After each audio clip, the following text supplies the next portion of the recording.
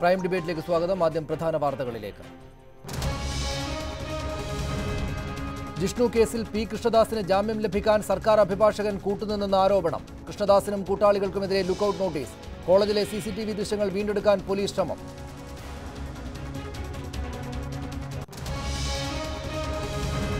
ഉത്തർപ്രദേശിൽ പ്രിയങ്ക ഗാന്ധി ഇറങ്ങി. നോട്ട് നിരോധനത്തിൽ നരേന്ദ്രമോദിക്കെതിരെ രൂക്ഷ വിമർശവുമായി റായ്ബറേലിയിൽ പ്രചാരണം. ഷാരൂഖ് ഖാനാണെന്ന് വിശ്വസിക്കുന്ന മോദി യഥാർത്ഥത്തിൽ ഗബ്ബർ സിംഗ് ആണെന്ന് രാഹുൽ ഗാന്ധി. മൂന്നാം ഘട്ട തെരഞ്ഞെടുപ്പിന്റെ പരസ്യ പ്രചാരണത്തിന് കൊട്ടിക്കലാശം.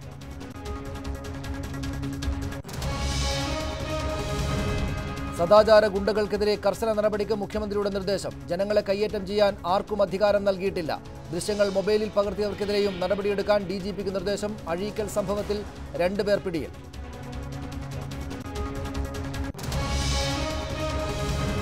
വിദ്യാബാലന് പകരം മഞ്ജു വാര്യർ വന്നിട്ടും മാധവിക്കുട്ടിയുടെ ജീവചരിത്ര സിനിമയെ ചൊല്ലിയുള്ള വിവാദങ്ങൾ തീരുന്നില്ല. മഞ്ജുവിന്റെ വിശദീകരണ പോസ്റ്റിനും സംഘപരിവാർ അനുകൂലികളുടെ വിമർശം. നായികാവേഷം രാഷ്ട്രീയ നിലപാടല്ലെന്ന് മഞ്ജു മാധവിക്കുട്ടിയെക്കുറിച്ച് സിനിമ ചെയ്യുമ്പോൾ ഭയപ്പെടേണ്ടതുണ്ടെന്ന് കമൽ.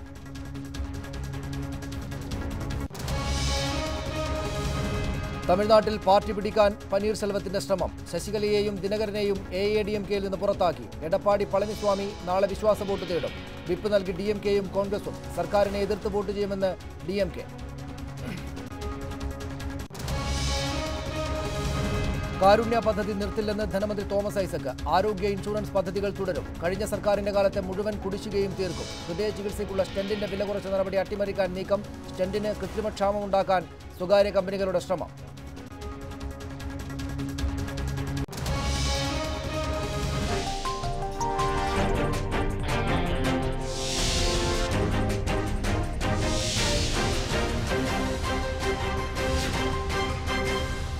ആമിക്കെതിരെ എന്തുകൊണ്ട് വിമർശനം?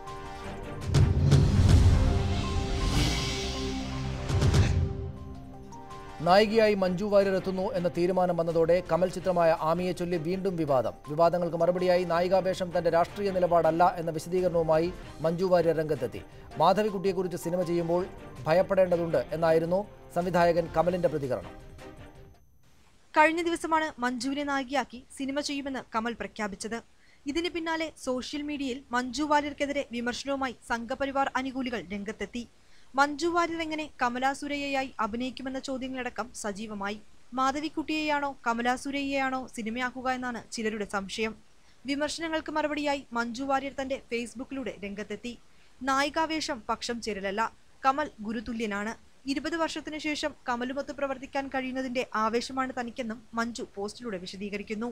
ആമിയിൽ നിന്നുള്ള വിദ്യാബാലന്റെ പിന്മാറ്റത്തെക്കുറിച്ച് കമലിന് പറയാനുള്ളത് ഇതാണ്. അവ പുറത്ത് ഞാൻ എന്ത് ധരിക്കുന്നു എന്നുള്ളത് പ്രസക്തമല്ല എന്ന് പറയുന്ന വലിയ ഒരു സിദ്ധാന്തം മുന്നോട്ട് വെച്ച വളരെ ശക്തമായി ആരെതിർത്താലും എനിക്കതൊന്നും ഒരു പ്രശ്നമില്ല എന്നുള്ള രീതിയിൽ മുന്നോട്ട് വെച്ച ഒരു പക്ഷേ മാതൃകളില്ലാത്ത ഒരു ഇന്ത്യൻ സ്ത്രീയാണ് മാധവിക്കുട്ടി. അപ്പോൾ മാധവിക്കുട്ടിയെ കുറിച്ച് സിനിമ ചെയ്യുമ്പോൾ തീർച്ചയായും ഞാൻ ഭയപ്പെടേണ്ടിയിരിക്കുന്നു. മാധവിക്കുട്ടിയുടെ വേഷം അഭിനയിക്കേണ്ട നടി ഭയപ്പെടേണ്ടിയിരിക്കുന്നു എന്നുള്ളത് സത്യം തന്നെയാണ്. അത് തന്നെ ആയിരിക്കാം ഒരു പക്ഷേ വിദ്യാബാലൻ സിനിമയിൽ നിന്ന് പിന്മാറിയതിന്റെ യഥാർത്ഥമായ വസ്തുത. അതിന് മറ്റെന്ത് കാരണമുണ്ടെങ്കിലും. അതേസമയം മഞ്ജു വാര്യർ ഫേസ്ബുക്കിൽ നൽകിയ വിശദീകരണത്തെ എതിർത്തും ഒരു വിഭാഗം രംഗത്തെത്തിയിട്ടുണ്ട്. വിശദീകരണം ഹിന്ദുത്വവാദികളോടുള്ള അപേക്ഷയും കീഴടങ്ങലുമാണെന്നാണ് ഇവരുടെ കണ്ടെത്തൽ. എന്റർടൈൻമെന്റ് ഡെസ്ക് ന്യൂസ് എയ്റ്റീൻ ഈ ചർച്ചയിൽ പങ്കെടുക്കാൻ സാമൂഹ്യ നിരീക്ഷകനായ ശ്രീ എം എൻ കാരശ്ശേരി കോഴിക്കോട് നിന്നും നമ്മോടൊപ്പം ചേരും. സിനിമാ പ്രവർത്തകയും സാമൂഹ്യ പ്രവർത്തകയുമായ ശ്രീമതി ഭാഗ്യലക്ഷ്മി എനിക്കൊപ്പം സ്റ്റുഡിയോ ഫ്ലോറിലുണ്ട്. രാഹുൽ ഈശ്വർ ആക്ടിവിസ്റ്റ് അദ്ദേഹവും എനിക്കൊപ്പം സ്റ്റുഡിയോ ഫ്ലോറിൽ. കോൺഗ്രസ് നേതാവ് ശ്രീ പന്തളം സുധാകരൻ തിരുവനന്തപുരത്ത് നിന്നും മാധ്യമപ്രവർത്തകനായ ശ്രീ മനോജ് മനയിൽ കൊച്ചിയിൽ നിന്നും ഈ ചർച്ചയിൽ ചേരും. ആദ്യം ശ്രീമതി ഭാഗ്യലക്ഷ്മി അഭിനേത്രിക്ക് വിശദീകരണ പോസ്റ്റ് ഇടേണ്ടി വരുന്നു.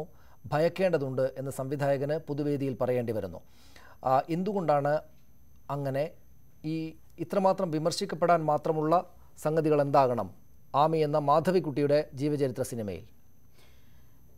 എനിക്ക് തോന്നുന്നത് ഇത് വിദ്യാബാലനെ ആദ്യം ഈ സിനിമയിൽ കാസ്റ്റ് ചെയ്തു. വിദ്യാബാലൻ ഇതിൽ നിന്ന് പിന്മാറി. പിന്മാറിയപ്പോൾ എന്തുകൊണ്ട് പിന്മാറി എന്നുള്ളതിനെക്കുറിച്ച് വിദ്യാബാലൻ ഒരക്ഷരം മിണ്ടിയില്ല. പലരും പലതും പറഞ്ഞു. അതിന്റെ പിന്നിൽ പല ഭീഷണി ഉണ്ടായിരുന്നു എന്നൊക്കെ പലരും അവിടെ ഇവിടെയൊക്കെ ഒരു ഗോസിപ്പ് പോലെയൊക്കെ ഇങ്ങനെ കിടന്ന് കളിക്കുന്നുണ്ടായിരുന്നെങ്കിലും ഒന്നിനും മറുപടി കൊടുക്കാൻ വിദ്യാബാലൻ തയ്യാറായിരുന്നില്ല. ആ വിഷയം അങ്ങനെ കെട്ടടങ്ങിപ്പോയി. മഞ്ജുവും എനിക്ക് തോന്നുന്നു ഈ ഒരു പോസ്റ്റ് ഇടേണ്ടിയിരുന്നില്ല എന്ന് എനിക്കിപ്പോൾ തോന്നുന്നു. ഞാൻ മഞ്ജുവിന്റെ പോസ്റ്റ് ഞാൻ ഷെയർ ചെയ്തിട്ടുണ്ട്. പക്ഷെ എനിക്ക് തോന്നുന്നു അങ്ങനെ ഇട്ടപ്പോഴാണ് കൂടുതൽ ആളുകൾ കമന്റ് ഇട്ട് തുടങ്ങിയത്. അങ്ങനെ ഒരു പോസ്റ്റ് ഇല്ലായിരുന്നുവെങ്കിൽ ഇവർ ആരും ഇതിനെക്കുറിച്ച് വലുതായി സംസാരിക്കില്ല. കാരണം ഇത് കമലാ സുരയ്യയുടെ സിനിമ മാധവിക്കുട്ടിയുടെ സിനിമയ്ക്കെതിരെയോ അല്ലെങ്കിൽ മഞ്ജു ഈ കഥാപാത്രം ചെയ്യുന്ന അതൊന്നുമല്ല. ഇത് കമലിനോടുള്ള ഒരു പ്രതിഷേധമാണ് ഇവിടെ ഇങ്ങനെ വല്ലാതെ കത്തിക്കേറുന്നെന്നാണ് എനിക്ക് തോന്നുന്നു. ഒരു പക്ഷേ ഇതേ സിനിമ ഫാസിൽ സാറോ അല്ലെങ്കിൽ വേറെ ഏതെങ്കിലും ഒരു സംവിധായകനായിരുന്നു ചെയ്തിരുന്നതെങ്കിൽ ഇത് ഇത്രയും വലിയ സംസാരമാകുമായിരുന്നു? വിഷയമാകുമായിരുന്നോ? എനിക്കൊരു ചെറിയ സംശയം. അപ്പോൾ കുറച്ച് നാളായിട്ട് കമൽ എന്ന് പറയുന്ന സംവിധായകനെതിരെ അല്ലെങ്കിൽ അദ്ദേഹത്തിന്റെതായിട്ടുള്ള നിലപാടുകൾക്കെതിരെയുള്ള ഒരു വല്ലാത്തൊരു ആക്രമണമായിട്ടാണ് എനിക്ക് തോന്നുന്നത്. തിരിച്ചു വരാം. Shri M N Karassery M T Vasudevan നായർക്കെതിരെയും സംവിധായകൻ കമലിനെതിരെയും ഉത്തരവാദിത്തത്തോടെ നേരിട്ട് ബി ജെ പി നേതൃത്വം നേതാക്കൾ രംഗത്തെത്തിയിരുന്നു. ഇവിടെ അത് ഇതുവരെ ഉണ്ടായിട്ടില്ല. മഞ്ജു വാര്യർക്കെതിരെ ആരെങ്കിലും എന്തെങ്കിലും ഈ സിനിമയിൽ അഭിനയിക്കാൻ പാടില്ല എന്ന നിലപാടൊന്നും പ്രഖ്യാപിച്ചിട്ടില്ല. പക്ഷേ അവരുടെ പോസ്റ്റിന് കീഴെ സംഘപരിവാര രാഷ്ട്രീയ അനുകൂലികളുടെ വലിയ തോതിലുള്ള പ്രതിഷേധമുണ്ട്. അത് സാധാരണഗതിയിൽ സോഷ്യൽ മീഡിയയിൽ നടക്കുന്നത് പോലുള്ള വലിയ തെരുവിളിയിലേക്കൊന്നും കാര്യങ്ങൾ പോയിട്ടില്ലെങ്കിലും നിങ്ങൾ അഭിനയിക്കാൻ പാടില്ല ഈ സിനിമയ്ക്കകത്ത് എന്ന് പല കാരണങ്ങൾ ചൂണ്ടിക്കാട്ടി സംഘപരിവാര രാഷ്ട്രീയമുള്ള ആളുകൾ പറയുന്നുണ്ട്. ആ നിലയ്ക്ക് സ്വാഭാവികമാണെന്ന് കരുതി അങ്ങ് തള്ളിക്കളഞ്ഞാൽ മതിയോ? അല്ല ഇതിന് പിന്നിൽ രാഷ്ട്രീയമായിട്ടുള്ള ബുദ്ധി വെച്ചുകൊണ്ട് കലാപ്രവർത്തനങ്ങളെ വിലയിരുത്തുക എന്ന ഒരു കാര്യം അതിന് പിന്നിലുണ്ടോ? അത് ശരിയല്ലാത്തതാണോ?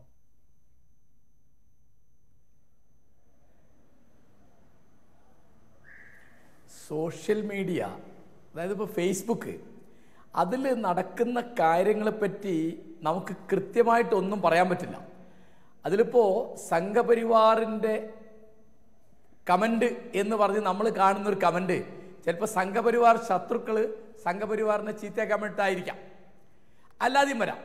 ഇതുപോലെ ഇപ്പോൾ കാരണം എന്ത് കള്ളക്കളിക്കും ഒളിത്താവളം ഉണ്ടാക്കാൻ സൗകര്യമുള്ള തരത്തിലാണ് സോഷ്യൽ മീഡിയയിലെ കാര്യങ്ങൾ അപ്പോൾ നമ്മൾ അതിനെപ്പറ്റി സംസാരിക്കുമ്പോൾ ആ ഒരു പരിമിതി ആ ഒരു പരാധീനത നമ്മൾ എപ്പോഴും കാണണം. ഇത് ആര് ആരോട് എന്തിന് എപ്പോൾ എങ്ങനെ പറഞ്ഞു എന്ന് കൃത്യമായി മനസ്സിലാക്കാൻ ഒരു വഴിയും സോഷ്യൽ മീഡിയയിൽ ഞാൻ കണ്ടിട്ടില്ല. പിന്നെ നിങ്ങൾ ഈ സിനിമയിൽ അഭിനയിക്കാൻ പാടില്ല എന്ന് പറയുന്നത് അതിപ്പോൾ അഭിപ്രായമുള്ള ആളുകളുണ്ടാവും. ആ അഭിപ്രായം തന്നെ ഒരു പൗരാവകാശ ലംഘനത്തിലേക്ക് വരുന്നതാണ്. സിനിമ കണ്ടതിന് ശേഷം നിങ്ങൾ ഈ സിനിമയിൽ അഭിനയിക്കരുതായിരുന്നു എന്ന് പറയുന്ന വിമർശനമാണ്. അതിന്റെ തിരക്കഥ കണ്ടിട്ട് ആ തിരക്കഥയെ വിമർശിക്കുന്ന വിമർശനമാണ്. നേരെ മറിച്ച് ഒരാൾ ഒരു കലാകാരൻ അല്ലെങ്കിൽ ഒരു കലാകാരി ഇന്ന പണി ചെയ്യാൻ പാടില്ല. എം എഫ് ഹുസൈൻ ചിത്രം വരയ്ക്കാൻ പാടില്ല. തസ്ലീമ നസ്രീൻ നോവൽ എഴുതാൻ പാടില്ല. കാശ്മീരിലെ മുസ്ലിം പെൺകുട്ടികൾ പാട്ട് പാടാൻ പാടില്ല.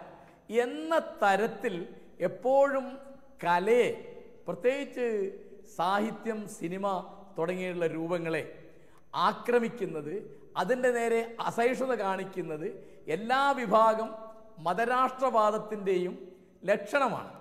അവർ ചരിത്രത്തിനെതിരായിരിക്കും. സംസ്കാരത്തിനെതിരായിരിക്കും ചിത്രകലയ്ക്കും സിനിമയ്ക്കും നാടകത്തിനും ശില്പത്തിനും എതിരായിരിക്കും. അപ്പം എന്താ വെച്ചാൽ അത് ഉൽപ്പാദിപ്പിക്കുന്ന ഒരു സ്വാതന്ത്ര്യം ഒരു കാൽപ്പനികമായ സ്വാതന്ത്ര്യം വ്യക്തികളുടെ കൃത്യമായ ആവിഷ്കാരം. ഇതിനൊക്കെ മതമൗലികവാദം എതിരായിരിക്കും മതരാഷ്ട്രവാദം എതിരായിരിക്കും. ആ ഒരു അന്തരീക്ഷം ഇവിടെ നിലവിലുണ്ട്. ഇതിപ്പോൾ സോഷ്യൽ മീഡിയയിൽ മഞ്ജു വാര്യർക്കെതിരായിട്ട് എഴുതിയത് ആരാണെന്ന് നമുക്ക് അറിഞ്ഞുകൂടാ. പക്ഷേ മാധവിക്കുട്ടിയുടെ കഥ സിനിമയായിട്ട് വരരുത് എന്നോ കമൽ അത് സംവിധാനം ചെയ്യരുത് എന്നോ വിദ്യാബാലൻ അഭിനയിക്കരുത് എന്നോ ഇപ്പോൾ മഞ്ജു വാര്യർ അഭിനയിക്കരുത് എന്നോ ഒക്കെ അഭിപ്രായമുള്ള ആളുകൾ ഈ നാട്ടിലുണ്ട്. അത്തരം അഭിപ്രായങ്ങൾ ഉണ്ടാവുന്നത് നമ്മുടെ സമൂഹത്തെ സംബന്ധിച്ച് അനാരോഗ്യകരമാണ് അത് സംസ്കാര വിരുദ്ധമാണ് കലാവിരുദ്ധമാണ് അതിന്റെ ഏറ്റവും അടിയിലുള്ളത് ഒരു ഫാസിസ്റ്റ് മനസ്സാണ് എന്ന് നമ്മൾ തിരിച്ചറിയണം എന്നതാണ് ഈ സമയത്ത് എനിക്ക് പറയാനുള്ളത്. ഞാൻ തിരിച്ചു വരാം. ശ്രീ മനോജ് മനയിൽ സിനിമ ഇറങ്ങിയിട്ടില്ല തിരക്കഥയാരും വായിച്ചിട്ടില്ല ഏത് നിലക്കാണ് മാധവിക്കുട്ടിയെ കമലാസുരയെ ചിത്രീകരിച്ചിരിക്കുന്നത് എന്ന് നമുക്കറിയുകയില്ല അവരെ എങ്ങനെയാണ് മഞ്ജു വാര്യർ അവതരിപ്പിച്ചിരിക്കുന്നത് എന്നത് സംബന്ധിച്ചും ഇപ്പോൾ പറയാനൊന്നുമില്ല. എങ്കിലും വിമർശങ്ങളുണ്ട്. ആ വിമർശങ്ങളുള്ള ആ ആളിൽ സോഷ്യൽ മീഡിയയിൽ പ്രധാനപ്പെട്ട ഒരാൾ താങ്കളുമാണ്. താങ്കളുടെ എഴുതിയതിനെ പല തോതിൽ ആളുകൾ വ്യാഖ്യാനിക്കുകയും കൊണ്ടു നടക്കുകയും ചെയ്യുന്നുണ്ട്. എന്തുകൊണ്ടാണ് ഈ സിനിമയെക്കുറിച്ചുള്ള വിമർശനം? അത് താങ്കളടക്കമുള്ള സംഘപരിവാര അനുകൂല രാഷ്ട്രീയ നിലപാടുള്ള ആളുകൾക്ക് കമൽ എന്ന വ്യക്തി വ്യക്തിയോട് സംവിധായകനോടുള്ള എതിർപ്പ് കൊണ്ട് അദ്ദേഹം എടുക്കുന്ന ഒരു സിനിമയെ എതിർക്കുന്നു എന്നോ എന്നാണോ? അല്ലെങ്കിൽ ഈ മാധവിക്കുട്ടിയുടെ കഥ കമലാസുരയുടെ കഥ സിനിമയാക്കുന്നതിൽ തന്നെ എതിർക്കേണ്ടതുണ്ട് എന്ന നിലപാടുള്ളത് കൊണ്ടാണോ?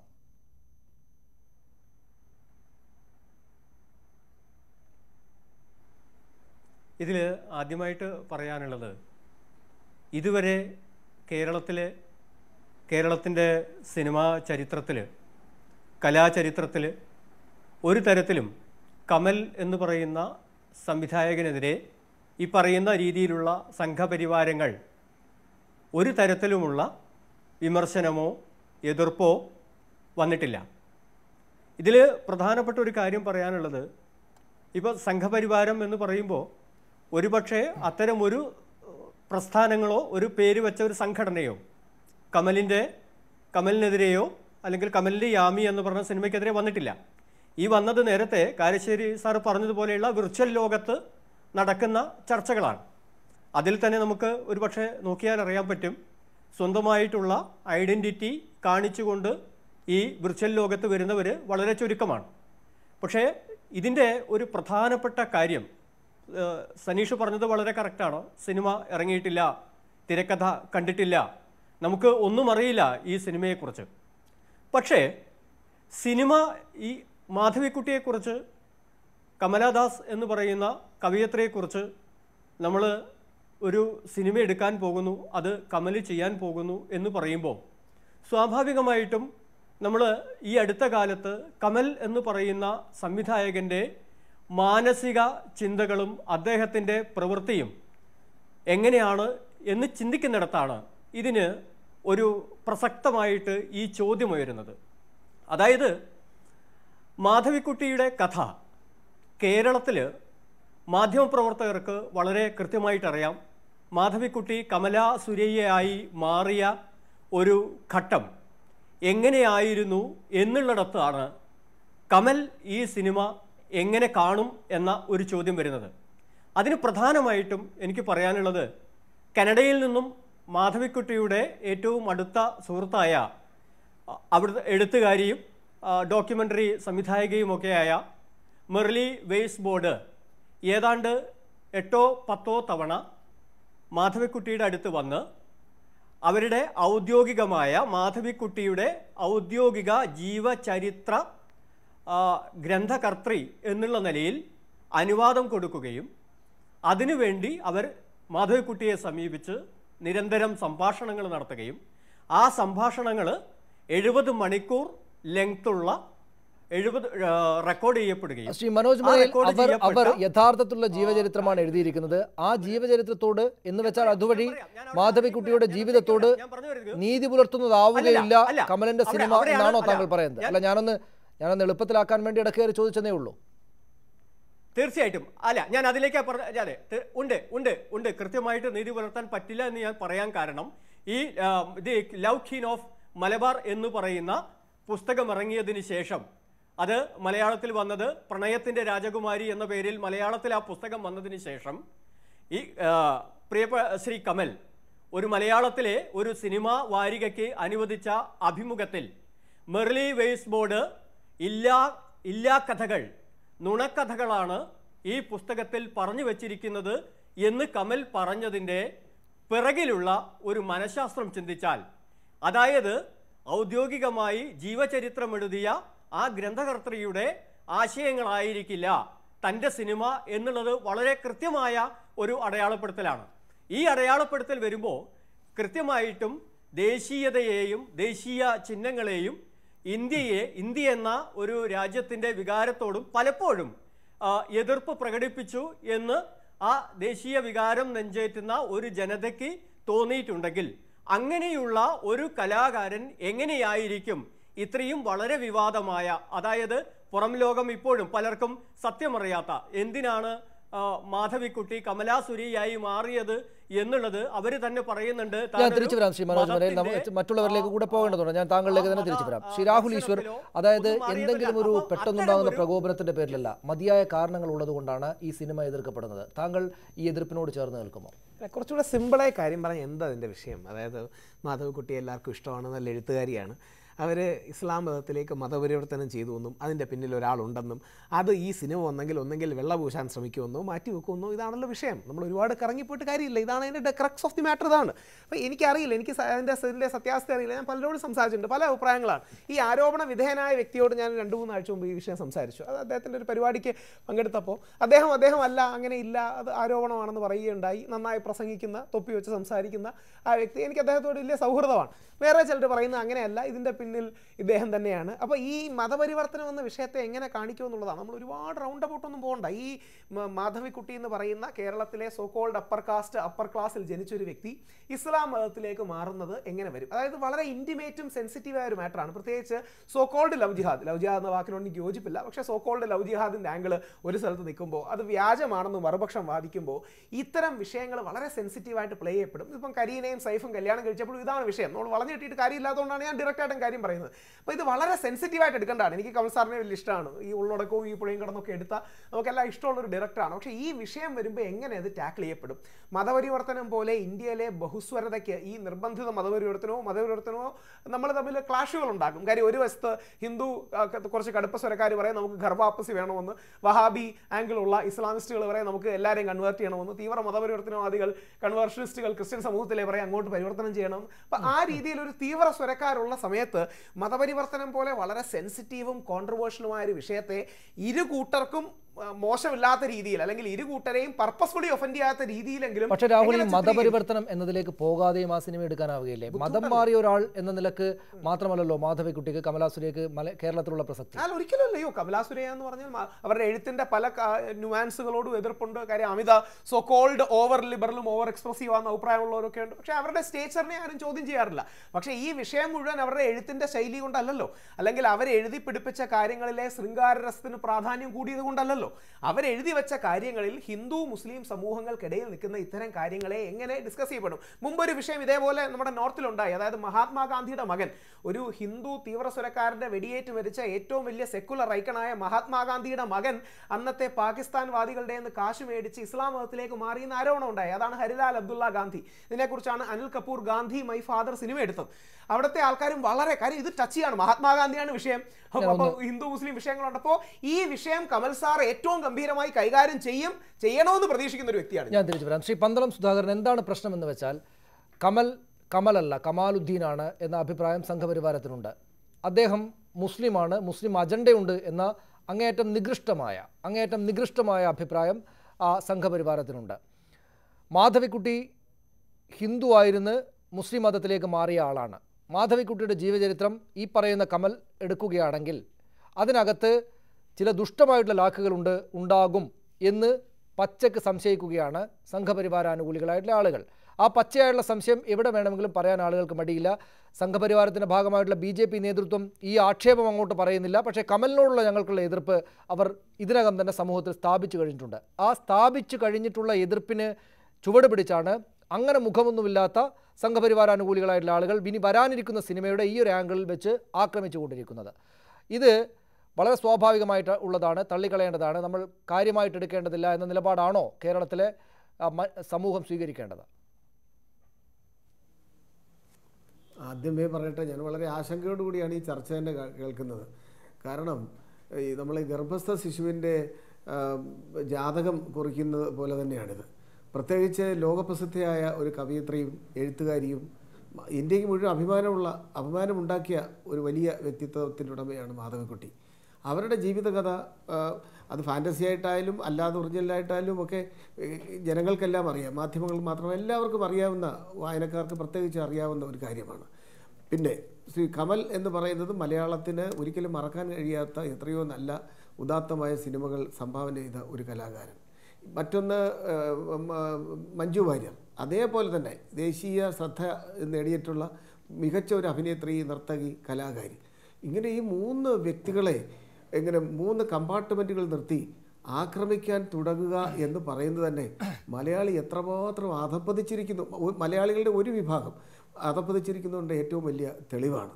പിന്നെ ഒന്ന് ഈ നമ്മളൊന്ന് ആലോചിക്കണം ഒരു കലാകാരന്റെ ഒരു ക്രിയേറ്റിവിറ്റി കലാകാരന്റെ റൈറ്റ് അല്ലേ ഒരു നോവൽ എഴുതുക അല്ലെങ്കിൽ കവിത എഴുതുക ഒരു സിനിമ എടുക്കുക എന്ന് പറയും. ആ സിനിമ വന്നിട്ട് നമുക്കതിനെക്കുറിച്ച് പ്രതികരിക്കാം. ആ സിനിമ വന്നു കഴിയുമ്പോഴല്ലേ അതിനെക്കുറിച്ച് എന്താണ് എന്ന് നമുക്കറിയാൻ കഴിയുള്ളൂ. അപ്പോൾ യഥാർത്ഥത്തിൽ ഇപ്പോൾ കടലാസിലോ മനസ്സിലോ ഉള്ള ഒരു കാര്യത്തെക്കുറിച്ച് ഇങ്ങനെയൊക്കെ ചിന്തിച്ച് ഈ ഈ നാട്ടിലെ മലയാളികൾ നമ്മൾ വലിയ സംവിധായകൻ കമൽ കൂടെ ടെലിഫോണിലുണ്ട്. അതിന് അദ്ദേഹത്തിലേക്ക് വരുന്നതിന് മുമ്പ് ശ്രീ പന്തള സുധാകരൻ ഇത് പക്ഷേ ഏതെങ്കിലും ഒരു ഭാഗത്തേക്ക് മാത്രം നടക്കുന്നതല്ല. നടൻ മോഹൻലാൽ ചില രാഷ്ട്രീയ നിലപാടുകൾ രാഷ്ട്രീയ നിലപാടുകളെന്ന് അദ്ദേഹം അതിനെ വിശേഷിപ്പിക്കുന്നില്ല. അദ്ദേഹം മധ്യമാർഗത്തിലൂടെ പോകുന്നയാളാണെന്നാണ് അദ്ദേഹം പറയുന്നത്. നടൻ മോഹൻലാൽ ചില നിലപാടുകൾ പ്രഖ്യാപിച്ചപ്പോൾ അദ്ദേഹത്തിനെതിരെയും രാഷ്ട്രീയമായിട്ടുള്ള വിമർശനം വന്നിട്ടുണ്ട്. അത് രാഷ്ട്രീയമായ അഭിപ്രായ പ്രകടനമായിരുന്നു. രാഷ്ട്രീയമായ എതിർപ്പ് വന്നിട്ടുണ്ട്. അതുകൊണ്ട് ഈ കലാമേഖലയിൽ പ്രവർത്തിക്കുന്ന ആളുകൾ വിമർശങ്ങൾക്ക് വിധേയരാകാതെ ഇങ്ങനെ പോകുമെന്ന് കരുതുക സാധ്യമല്ലല്ലോ. ഞാൻ ചോദിക്കുന്നത് ഇപ്പോഴത്തെ സാഹചര്യത്തിൽ സംഘപരിവാര ആനുകൂലികൾക്കുള്ള ഈ സംശയത്തിന്റെ അടിസ്ഥാനത്തിൽ അവർ ഈ സിനിമയെ ഇതിങ്ങനെയായിരിക്കുമെന്ന് വിലയിരുത്തുകയും മറ്റും ചെയ്യുന്നതിൽ സമൂഹം എന്ന നിലയ്ക്ക് നമ്മൾ ബുദ്ധിമുട്ടിലാകേണ്ടുന്ന ആശങ്കപ്പെടേണ്ടുന്ന കാര്യമുണ്ടോ? ഒരാശങ്കപ്പെടേണ്ട കാര്യമില്ല. സംഘപരിവാർ അല്ലല്ലോ ഈ ഈ മലയാളത്തിന്റെ സാംസ്കാരിക പൈതൃകം തീരുമാനിക്കുന്നത്. രണ്ടാമത്തെ കാര്യം ഏത് കലാകാരനായാലും വിമർശിക്കപ്പെടുന്നത് വിമർശനം കേൾക്കാൻ ബാധ്യസ്ഥനാണ്. അത് കലാകാരനായാലും രാഷ്ട്രീയക്കാരായാലും ആരായാലും സമൂഹത്തിൽ ജീവിക്കുന്ന ഒരാൾ ക്രിയാത്മകമായി വിമർശനത്തിന് വിധേയനായേ മതിയാകൂ. അതുകൊണ്ട് മോഹൻലാലിനെ വിമർശിച്ചുകൊണ്ടോ അല്ലെങ്കിൽ എം ടി വാസുദേവനെ വിമർശിച്ചുകൊണ്ടോ അല്ലെങ്കിൽ കമലിനെ വിമർശിച്ചതോ തെറ്റാണ് അത് രാഷ്ട്രീയത്തിന്റെ രീതിയിൽ കാണണം എന്നിട്ട് കാണാൻ പാടില്ല. ഇതിലൊന്നും രാഷ്ട്രീയമില്ല. ഇത് രാഷ്ട്രീയം കൊണ്ടുവരുവാൻ ചില പ്രത്യേകിച്ച് ഇന്ത്യ ഭരിക്കുന്ന ഇപ്പോഴത്തെ രാഷ്ട്രീയ പ്രസ്ഥാനം ശ്രമിക്കുന്നത് ഒരു ഭീതി പരത്തി. ഒരു ഒരു പഴയ നൂറ്റാണ്ടുകളിലൊക്കെ ഉണ്ടല്ലോ വാൻഡലിസം എന്നൊക്കെ പറഞ്ഞാൽ ഒരു ഭീതി പരത്തി തങ്ങളിലേക്ക് ഒരു വിഭാഗത്തെ ഭീഷണിയോടിലൂടെ തങ്ങളുടെ രാഷ്ട്രീയ ഭാഗത്തെ കൊണ്ടുവരാനുള്ള ഒരു നെറികെട്ട നാണം കെട്ട ഒരു ശ്രമമാണ്. ഇതിന് ഒരു കാലത്തും കേരളത്തിലെ പ്രബുദ്ധരായ ജനങ്ങൾ അംഗീകരിക്കും എന്ന് ഞാൻ കരുതുന്നില്ല. ഭീതി പരത്തിയിട്ടുള്ള ചില കാര്യങ്ങൾ നടപ്പാക്കിയെടുക്കുക എന്ന ഒരു വിഭാഗത്തിന്റെ ആഗ്രഹ ചിന്ത ഇതിന് പിന്നിലുണ്ട് എന്ന് അദ്ദേഹം പറഞ്ഞു വെക്കുന്നുണ്ട്. നോക്കൂ മതം വെറും പുറം ആവരണം മാത്രമാണ് എന്ന് എന്ന് സ്വന്തം ജീവിതം കൊണ്ട് തെളിയിച്ചയാളായിരുന്നു മാധവിക്കുട്ടി കമലാ സുരയ്യ.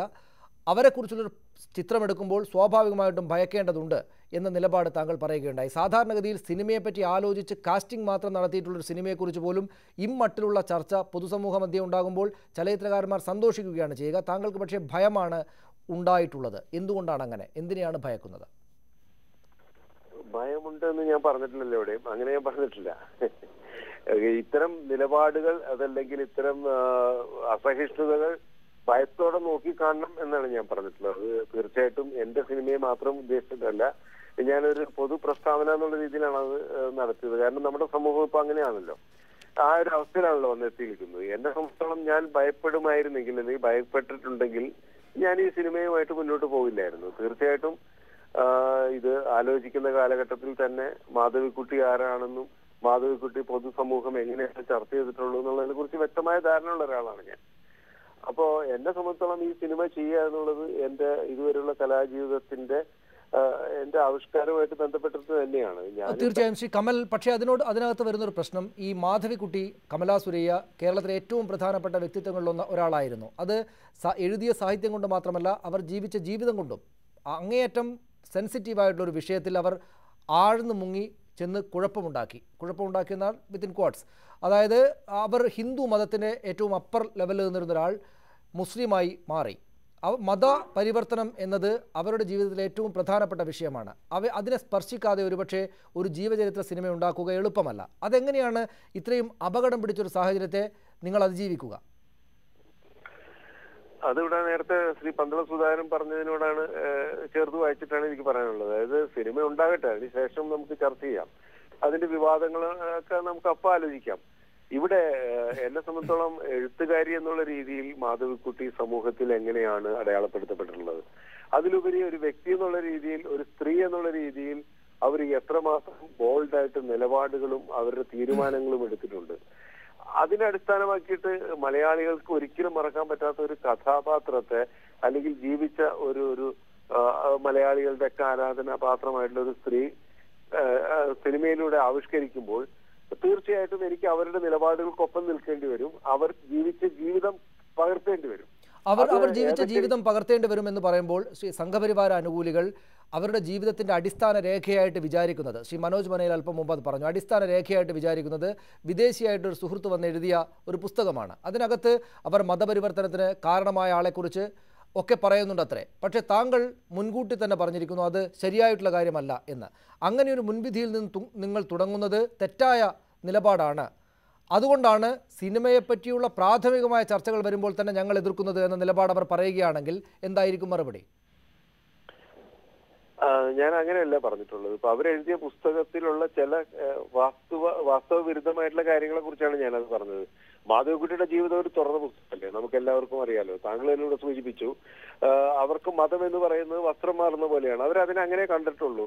അവർ അതിനെ ബാഹ്യമായിട്ടല്ല കണ്ടിട്ടുള്ളത്. മതം അതല്ലെങ്കിൽ ആധ്യാത്മിക ജീവിതം ദൈവം ദൈവം എന്നൊക്കെ പറയുന്നത് ആന്തരികമായ ഒരു മനുഷ്യന്റെ എന്താ പറയാ സ്വകാര്യതയിൽ അവൻ കണ്ടെത്തുന്നതാണ്. ആ രീതിയിൽ തന്നെയാണ് അവരതിനെ നിർവഹിച്ചിട്ടുള്ളത്. അപ്പൊ സ്വാഭാവികമായിട്ടും അവരെ സംബന്ധിച്ചോളം ഹിന്ദു ആണോ മുസ്ലിം ആണോ അവർ ജീവിച്ച ജീവിതം എന്നുള്ളതിനപ്പുറത്ത് അവർ ഏത് നിലപാടുകളിൽ ജീവിച്ചു എന്നുള്ളതാണ്.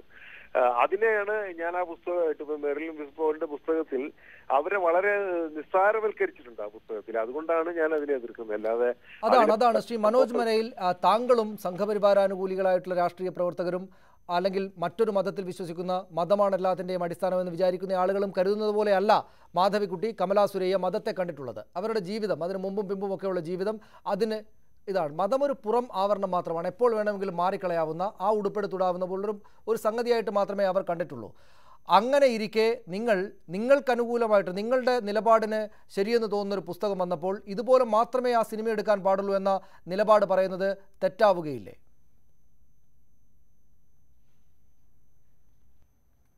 അല്ല അതിൽ പ്രധാനമായിട്ടും മതം എപ്പോഴും എടുത്തണിയാവുന്ന ഒരു ആവരണമായിട്ട് ഞാൻ മനസ്സിലാക്കുന്നത് മാധവിക്കുട്ടിയുടെ ഒന്ന് ജീവചരിത്രത്തിലൊന്ന് ഞാൻ മനസ്സിലാക്കുന്നത് അവർ എന്ത് ആഗ്രഹങ്ങൾ കൊണ്ടാണോ അവർ എന്ത് കാരണം കൊണ്ടാണോ ഇത്തരമൊരു പർദ്ദ അണിയാൻ തയ്യാറായത്. പിന്നീട് അത് താൻ ചെയ്തത് ബുദ്ധിമോശമായി പോയല്ലോ അത് വെറുതെ ആയിപ്പോയല്ലോ എന്ത് ആഗ്രഹത്തിലാണോ എന്ത് എന്ത് ആഗ്രഹത്തിന്റെ പുറത്താണോ താൻ അതിലേക്ക് വലിച്ചിഴക്കപ്പെട്ടത് പ്രേരിപ്പിക്കപ്പെട്ടത് എന്ന് അത് പിന്നീട് വെറും നിരർത്ഥകവും അർത്ഥശൂന്യവുമായ ഒരു വേളയിൽ വന്നതിന് ശേഷമാണ്. അത് നമ്മൾ അവരായിട്ട് പറഞ്ഞ ഒരു. തെളിവുകളുമില്ല. അതിനായിട്ട് അവരായിട്ട് പറഞ്ഞ ഒരു. തെളിവുകളുമില്ല ശ്രീ താങ്കൾ പറയുന്നത് മാത്രമാണ്. ഉണ്ട്. അല്ലല്ലല്ല ഇത് ഞാൻ പറയുന്നതല്ല. ഞാൻ ഈ ജീവചരിത്ര രേഖ വെച്ചിട്ടാണ് പറയുന്നത്. ഇത് എന്റെ കപോലകൽപിതമായിട്ട് ഏത് ഞാൻ വെറുതെ ജീവചരിത്ര പറയുന്നതല്ല. രേഖ? എനിക്ക് അതിന്റെ ആവശ്യമില്ല അത് മാത്രമല്ല നമുക്ക് പുസ്തകം വിടാം. മെർലി വെയ്സ് ബോർഡ് എഴുതിയ പ്രണയത്തിന്റെ രാജകുമാരി the love queen of Malabar എന്ന് പറയുന്ന കനഡക്കാരിയായ അങ്ങനെ പലതരം പുസ്തകങ്ങൾ വന്നിട്ടുണ്ട് ശ്രീ മനോജ് മരയിൽ. ഈ അമൃതാനന്ദമയി മാതാ. അമൃതാനന്ദമയിയെ കുറിച്ച് ഗെയിൽ ട്രെഡ്വെൽ എഴുതിയ പുസ്തകം. ഞാനത് വെക്കാം. അത് ഗെയിൽ ട്രെഡ്വെൽ. എഴുതിയ പുസ്തകം. സത്യമാണെന്ന് താങ്കൾ. സമ്മതിക്കുമോ? തീർച്ചയായിട്ടും. ഞാനത് മാറ്റി വെക്കാം. ഞാൻ മറ്റൊരു കാര്യം പറയാം. ആ ഒരുപക്ഷെ സനീഷ് അംഗീകരിക്കുന്ന ഒരു പത്രപ്രവർത്തകയാണല്ലോ ലീല മേനോൻ. അല്ല ലീല മേനോൻ.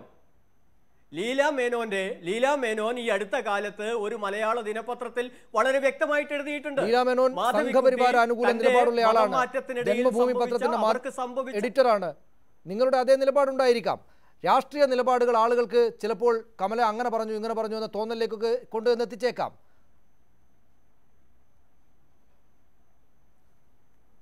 പക്ഷേ ലീല മേനോനെ നമ്മുടെ സമൂഹം അടയാളപ്പെടുത്തുന്നത് ഒരു സംഘപരിവാര മാധ്യമത്തിൽ ജോലി ചെയ്തതുകൊണ്ടോ അല്ലെങ്കിൽ അവർക്ക് അത്തരം നിലപാടുകളുണ്ടോ എന്ന് ഞാൻ വിശ്വസിക്കുന്നില്ല. ഒരിക്കലുമില്ല. കാരണം അവർ അടുത്ത സുഹൃത്തായിരുന്നു. അവർ മാധവിക്കുട്ടി പൂനെയിൽ ഉണ്ടായിരുന്ന സമയത്ത് പൂനെയിൽ പോയിരുന്നു. അടുത്തിരുന്നു സംസാരിക്കുന്ന ആളുകൾ പറയുന്നത് തെറ്റാണെന്ന് എങ്ങനെയാണ് നമ്മൾ വിചാരിക്കുക? അവരുടെ വികാരങ്ങളും വിചാരങ്ങളും എല്ലാം അനുഭവിച്ചറിഞ്ഞ വ്യക്തികൾ അത് സമൂഹത്തിൽ തുറന്നു പറയുമ്പോൾ നമ്മൾക്ക് എങ്ങനെയാണ് അതില്ല എന്ന് പറയുക? ഒരു നിമിഷം ഒരു നിമിഷം എനിക്ക് ഒരു പക്ഷേ ഞാൻ താങ്കൾക്ക് വിഭാഗത്തിന് മതിയായ സമയം തരാം. ഞാൻ എങ്ങനെയാണ് താങ്കളിലേക്ക് വരാം. എം എൻ ശ്രീ- കാരശ്ശേരി മാധവിക്കുട്ടിയെ സാഹിത്യകാരി എന്ന നിലയിൽ വായിച്ച ആളാണ്. അവരുമായിട്ട് വ്യക്തിപരമായിട്ട് സൗഹൃദമുണ്ടായിരുന്ന ആളായിരിക്കണം. അദ്ദേഹം കൂടെ ഇക്കാര്യം സമ്മതിക്കുന്നുണ്ടോ എന്ന് നോക്കണമല്ലോ. അദ്ദേഹത്തിനും അറിയാമായിരിക്കുമല്ലോ കാര്യങ്ങൾ. ശ്രീ എം എൻ കാരശ്ശേരി മാധവിക്കുട്ടി മതത്തെ ഒരു പുറം ആവരണമായിട്ടല്ല അല്ലെങ്കിൽ അവസാന കാലത്ത് ഇങ്ങനെയൊക്കെ ചിന്തിച്ചിരുന്നു. മതം മാറ്റത്തിന് ഈ ഒരു കാരണം മാത്രമായിരുന്നു. അവർക്ക് ആളുകൾക്ക് വളരെ പെട്ടെന്ന് സ്വാധീനിക്കാവുന്ന മതം മാറ്റത്തിലേക്ക് പോലും കൊണ്ടുപോകാവുന്ന സ്വന്തമായ തീരുമാനങ്ങൾ ഇല്ലാതിരുന്ന സ്ത്രീയായിരുന്നു എന്നൊക്കെ താങ്കളും സമ്മതിക്കുമോ?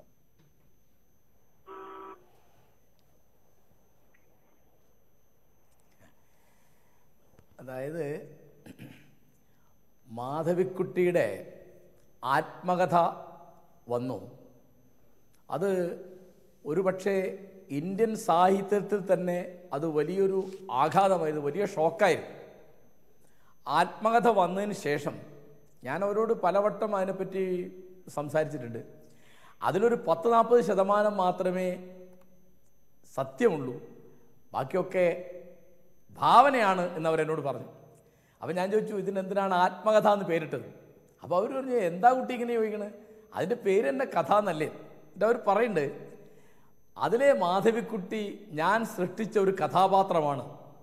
പിന്നീട് എനിക്ക് മനസ്സിലായി എന്റെ കഥ എന്നുള്ള അവരുടെ ആത്മകഥ ഒരു വ്യക്തിയുടെ ആത്മകഥയല്ല ഇന്ത്യൻ സ്ത്രീത്വത്തിന്റെ തന്നെ ഒരു വിലാപഗാഥയാണ്.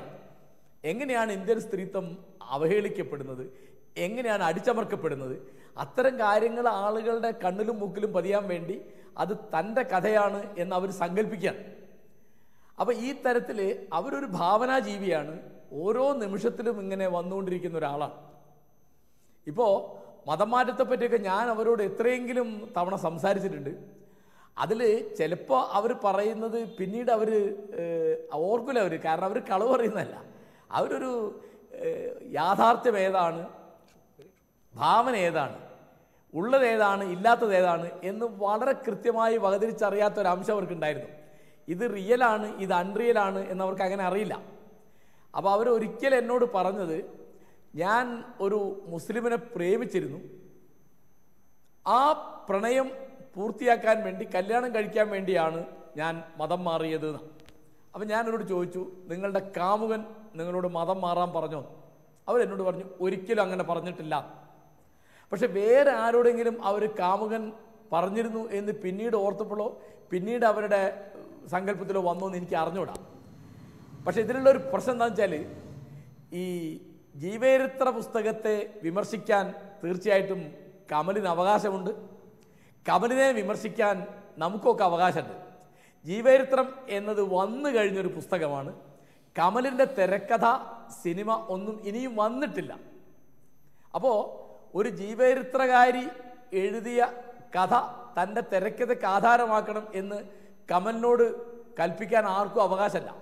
കാരണം കമലിന്റെ സങ്കല്പത്തിലുള്ള മാധവിക്കുട്ടിയെ അവതരിപ്പിക്കാൻ ഒരു കലാകാരൻ എന്നുള്ള നിലയ്ക്ക് ഒരു ചലച്ചിത്രകാരൻ എന്നുള്ള നിലയ്ക്ക് കമലിന് അവകാശമുണ്ട്.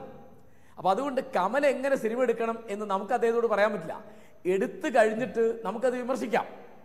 അപ്പോൾ ഞാൻ പറയുന്നത് മാധവിക്കുട്ടി ലവ് ജിഹാദിന്റെ ഇരയായിരുന്നു എന്ന് ലീലാമേനോൻ എഴുതിയതായിട്ട് ഞാൻ കണ്ടിട്ടുണ്ട്. ലവ് ജിഹാദ് എന്ന സങ്കല്പത്തെ അംഗീകരിക്കാത്ത ഒരാളാണ് ഞാൻ. തീർച്ചയായിട്ടും മാധവിക്കുട്ടി ലവ് ജിഹാദിന്റെ ഇരയാണ് എന്ന് വിചാരിക്കാത്ത ഒരാളാണ് ഞാൻ.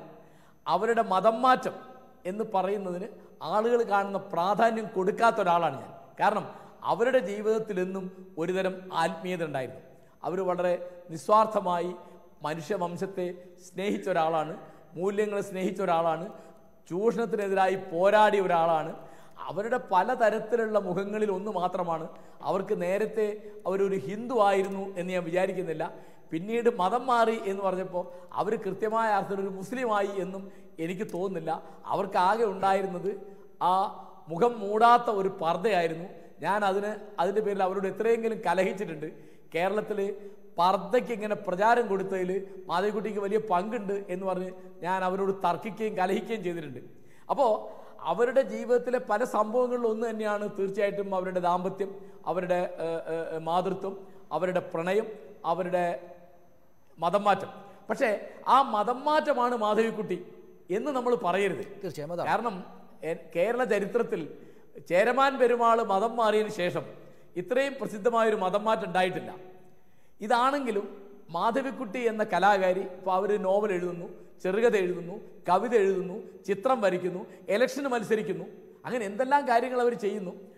അപ്പോൾ നമുക്ക് അനുകൂലിക്കാവുന്നതും അനുകൂലിക്കാൻ വയ്യാത്തതും അനവധി കാര്യങ്ങൾ ചെയ്യുന്നവർ അനവധി കാര്യങ്ങളെ പറ്റി അഭിപ്രായം പറയുന്നു. ഇപ്പം ഞാൻ ഒരു ഒറ്റ ഉദാഹരണം പറയാം. അവർ മതം മാറി കഴിഞ്ഞ് നടത്തിയ പ്രധാനപ്പെട്ട ഒരു പ്രസ്താവന ഇനി ഗുരുവായൂർ പോയി നോക്കിക്കോളൂ. കൃഷ്ണൻ അവിടെ ഉണ്ടാവില്ല. കാരണം കണ്ണൻ ഞാൻ വിളിച്ചപ്പോൾ എന്റെ കൂടെ പോന്നു എന്ന് പറയും. ഇത് ഏത് മതമാണെന്ന് നമുക്ക് മനസ്സിലാവില്ല. മനസ്സിലാവുകയില്ല അതായത് ഗുരുവായൂരപ്പന്റെ ഭക്തയാണ് താൻ. ഞാൻ വിളിച്ചപ്പോൾ കണ്ണൻ എന്റെ കൂടെ പോന്നു. ഇനി ഗുരുവായൂർ കണ്ണൻ ഇരിപ്പില്ല എന്ന് പറയാനുള്ള തരത്തിലുള്ള ഒരു മനസ്സ് ആ തരത്തിലുള്ള ഒരു ആത്മീയത മതാതീതമായ ഒരു ആത്മീയത നിസ്വാർത്ഥമായ ഒരു മാനവ സങ്കല്പം അവർക്കുണ്ടായിരുന്നു. അപ്പം അങ്ങനെ നമ്മളൊരു മതം മാറിയ ആൾ അല്ലെ മതം മാറാത്ത ആൾ എന്നൊക്കെ തരത്തിൽ അവരെ ഇങ്ങനെ ന്യൂനീകരിച്ച് ചെറുതാക്കി നമ്മൾ കാണരുത് എന്നാണ് എനിക്ക് പറയാനുള്ളത്. ഞാൻ തിരിച്ചു വരാം ശ്രീ കാരശ്ശേരി. മറ്റുള്ളവരിലേക്ക് മരണപ്പെട്ടെന്ന് വരാം. ചെറിയ ഇടവേളയ്ക്ക് ശേഷം.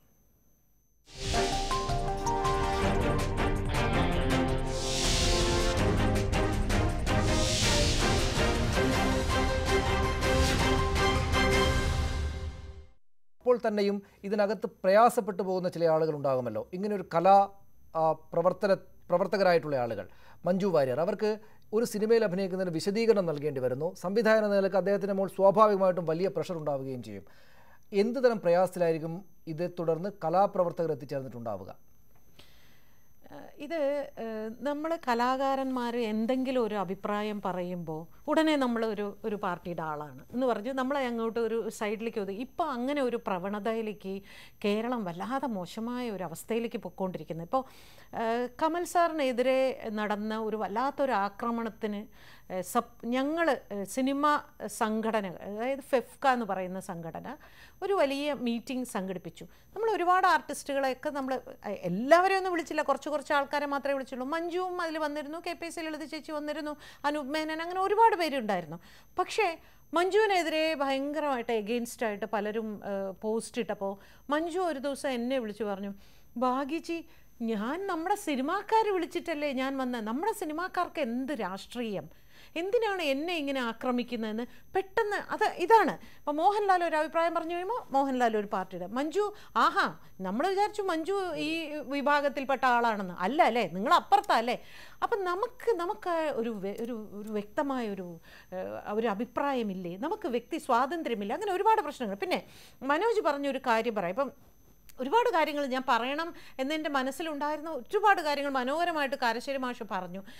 അദ്ദേഹം പറഞ്ഞതിനെ തുടർച്ചയായിട്ട് തന്നെ ഞാൻ മറ്റൊരു മനോജ് പറഞ്ഞു കമലിന് ഒരിക്കലും പിന്നെ സത്യസന്ധമായിട്ട് ഈ ഇത് എടുക്കാൻ പറ്റില്ല. പ്രണയത്തിന്റെ രാജകുമാരിയിൽ പറഞ്ഞതുപോലെ കാരണം അത് മുഴുവനും ഒട്ടും സത്യമല്ല എന്ന് പറഞ്ഞു എന്ന് പറയുന്നു. പ്രണയത്തിന്റെ രാജകുമാരി ഞാനും വായിച്ചതാണ്. അതിൽ പറഞ്ഞിരിക്കുന്ന കുറേ കഥാപാത്രങ്ങൾ പേര് മാറ്റിയാണല്ലോ അവരെഴുതിയിരിക്കുന്നത് അത് സത്യസന്ധമായിട്ടാണോ അവരെഴുതിയിരിക്കുന്നത് ഒരിക്കലുമല്ല. അപ്പോൾ മാത്രമല്ല കാരശ്ശേരി മാഷ് പറഞ്ഞ മാതിരി മാധവിക്കുട്ടി എന്ന് പറയുമ്പോൾ മതം മാറിയ ഒരു വ്യക്തി ആ വാർദ്ധക്യത്തിൽ എനിക്ക് വിവാഹം കഴിക്കണം എന്ന അതല്ല മാധവിക്കുട്ടി. അതിനപ്പുറത്തേക്ക് മാധവിക്കുട്ടി എന്ന് പറയുന്ന വ്യക്തിക്ക് ഒരുപാട് ജീവിതത്തിൽ മനോഹരമായ ഒരുപാട് ഘട്ടങ്ങളുണ്ട്. അവരുടെ തറവാട് അവരുടെ കുട്ടിക്കാലം ആ കുട്ടിക്കാലത്ത് അവരുടെ ചില ചിന്തകൾ അതൊക്കെ എന്ത് മനോഹരമായിട്ടാണ് അവർ നിർമാതളം പൂത്തപ്പോഴും അതുപോലെ മറ്റു പല അവരുടെ കൃതികളിലെല്ലാം അവർ മനോഹരമായിട്ട് എഴുതിയിട്ടുണ്ട്. അതെല്ലാം ചേരുമ്പോൾ മാത്രമേ യഥാർത്ഥ മാധവിക്കുട്ടിയുടെ ജീവിതമാവുന്നുള്ളൂ. അല്ലാതെ ഈ ഒരു പ്രണയം മാത്രം എടുത്ത് കാണിക്കാനല്ല ഉദ്ദേശിക്കുന്നത്. ഇതിപ്പോൾ തിരക്കഥ എഴുതുന്നത് മുഴുവനും പുറത്തുള്ള ആളുകളാണ്. ഇതിപ്പോൾ എങ്ങനെ എടുക്കണം എന്നുള്ളതിനെക്കുറിച്ച് നിർമ്മാതാവും സംവിധായകനും ഇരുന്ന് ചർച്ച ചെയ്തുകൊണ്ടിരിക്കുന്നേ ഉള്ളൂ. സ്റ്റാർ കാസ്റ്റിംഗ് മാത്രമേ ആയിട്ടുള്ളൂ. പക്ഷേ ഇവിടെ എല്ലാവരും തിരക്കഥ എഴുതി. എടുക്കാൻ പോകുന്നത് ഇങ്ങനെയാണ്. എന്തിനാണ് ഈ മുൻകൂറി മുൻകൂറായിട്ട് ഇങ്ങനെ ഒരു വിധിയിലേക്ക് വരുന്നത്? എന്തിനാണെന്ന് മനസ്സിലാവുന്നില്ല. ഞങ്ങൾ കലാകാരന്മാർക്ക് വ്യക്തമായ ഞങ്ങൾക്ക് കലാപരമായിട്ടുള്ള ചിന്ത മാത്രമേ ഉള്ളൂ. ഞങ്ങൾക്ക് രാഷ്ട്രീയമോ ജാതിയോ മതമോ ഒന്നുമില്ല. രാഹുൽ ഈശ്വർ രണ്ട് എന്റെ ചോദ്യം കൂടി അതോടൊപ്പം ചേർത്ത് പറഞ്ഞോളൂ എന്റെ ഒരു ചോദ്യം കൂടി അതായത് ഈ കാര്യത്തിൽ സമീപകാലത്ത് വരുന്ന എം ടി വാസുദേവൻ നാരായണെങ്കിലും കമലാണെങ്കിലും ഇപ്പോൾ മഞ്ജു വാര്യർ വരെ എത്തിച്ചേർന്നിരിക്കുന്നു. അസഹിഷ്ണുതാ പ്രകടനം മുഴുവൻ ഈ സംഘപരിവാര രാഷ്ട്രീയത്തിന്റെ ഭാഗത്തു നിന്നാണ് ഉണ്ടാകുന്നത് അതൊരു മോശം കാര്യമല്ലേ? അവർക്ക് അവർക്ക് തന്നെയും ആളുകൾക്കിടയിൽ ഒരു ദോഷം ഉണ്ടാക്കുകയില്ല? ഭാഗ്യലക്ഷ്മി ചേച്ചി പറഞ്ഞത് പകുതി ശരിയാണ്. ഭാഗ്യ ചേച്ചിക്കോ മഞ്ജു ചേച്ചിക്കോ ഉണ്ടാവില്ല. പക്ഷെ എല്ലാവരും അങ്ങനെയാണോ കമൽ സാർ നമ്മുടെ സുരേഷ് ഗോപി അടക്കം കുറിച്ച് പറഞ്ഞതും പ്രധാനമന്ത്രിയെ നരാധമൻ എന്ന് അദ്ദേഹം വിളിച്ചതും തമ്മിൽ എന്താണ്? ഇനി നമുക്ക് സത്യസന്ധമായി പറയാം. കമൽ സാറിന്റെ ഇടതുപക്ഷക്കാരനാണ്. അതിന് തെറ്റൊന്നുമില്ല. നമ്മുടെ നാട്ടിലെ എല്ലാവർക്കും അവരുടേതായ രാഷ്ട്രീയമുണ്ട്. കമൽ സാറിന്റെ ഇടതുപക്ഷക്കാരനാണ്. സുരേഷ് ഗോപി ഹിന്ദുപക്ഷത്തോടും ബി ജെ പിയോടും ചാഞ്ഞു നിൽക്കുന്ന ആളാണ്. മോഹൻലാൽ ഒരു സെൻട്രൽ റൈറ്റ് ലീനിങ് ആണ്. മമ്മൂട്ടി സെൻട്രൽ ലെഫ്റ്റ് ആണ്.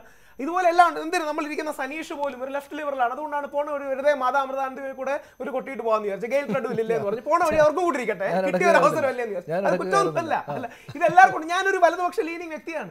ഇവിടെ ഇരിക്കുന്നവർക്കെല്ലാം അവരുടേതായ രാഷ്ട്രീയങ്ങളുണ്ട്. അത് തുറന്നു പറയുന്നതിന് മടിയില്ല. പക്ഷേ കമൽ സാറിനെ എന്താ പറയണേ? ഞങ്ങൾ നിൽക്കുന്ന പക്ഷത്ത് നിൽക്കുന്ന അല്ലെങ്കിലും ആദരവോടെ കാണുന്ന ഒരു വ്യക്തിയാണ് കമൽ സാറിന്റെ സാഹിത്യപരമായ അല്ലെങ്കിൽ നമ്മുടെ സർഗാത്മകതയിൽ അദ്ദേഹത്തിന്റെ കോൺട്രിബ്യൂഷൻസ് ബഹുമാനിക്കപ്പെടണമെന്നുള്ളതാണ് പക്ഷേ അദ്ദേഹം ഒരു സിനിമയെ വരുമ്പോൾ ഒരുപാട് ട്രിക്കി ആൻഡ് സെൻസിറ്റീവ് ഇഷ്യൂസ് ഉണ്ട്. ഉദാഹരണം ഗുരുവായൂരപ്പനെ കുറിച്ച് പറഞ്ഞ കമന്റ് അതിനുശേഷം മതം എന്ന് പറഞ്ഞാൽ റോട്ടറി ക്ലബ്ബും ലാൻഡ്സ് ക്ലബ്ബും പോലെയാണ് എന്ന് പറയുന്ന കാര്യം. അപ്പോൾ ഇതൊക്കെ തിയേറ്ററിൽ വരുമ്പോഴും പൊതുജനങ്ങളുടെ അടുത്തേക്ക് എത്തുമ്പോഴും നമ്മളെ തമ്മിൽ തല്ലിപ്പിക്കാൻ ശ്രമിക്കുന്ന ഒരുപാട് പേരുണ്ട്. അപ്പോൾ ഈ ഹിന്ദു മുസ്ലിം സമുദായങ്ങളെ തമ്മിൽ തല്ലിപ്പിക്കാൻ വേണ്ടി ശ്രമിക്കുന്നവർക്ക് ഒരു ആയുധമായി ഇത്തരം കാര്യങ്ങൾ മാറരുത്. അത് വളരെ കൈയടക്കത്തോടെ അദ്ദേഹത്തെ പോലൊരു വളരെ പ്രമുഖൻ ചെയ്യുമെന്നുള്ള പ്രതീക്ഷയുള്ള വ്യക്തിയാണ് ഞാൻ. അങ്ങനെ ചെയ്യണമെങ്കിൽ ചെയ്യണം ഇതിനകത്ത് ഈ സിനിമക്കകത്ത് ഈ പറഞ്ഞ കാര്യങ്ങളെല്ലാം വരണമെന്ന് നിർബന്ധമാണ്